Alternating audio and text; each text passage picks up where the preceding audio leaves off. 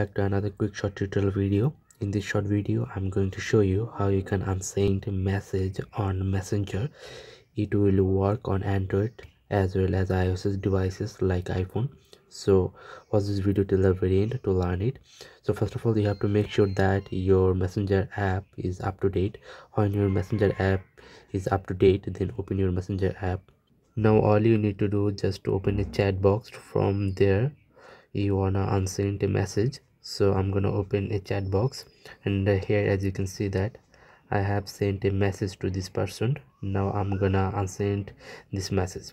To do it uh, hold on this message and then three option will appear. And one of is more option that is three dots. So tap on here and then now tap on remove. And uh, then two option will appear. And first option is unsent message so tap on here. And as you can see that that you unsent a message. And from now no one will be able to see this message again.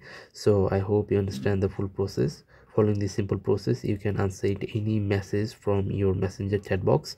I hope you understand the full process. If you think this video is useful then don't forget to like this video and subscribe to the channel. I will catch you in the next video. Till then take care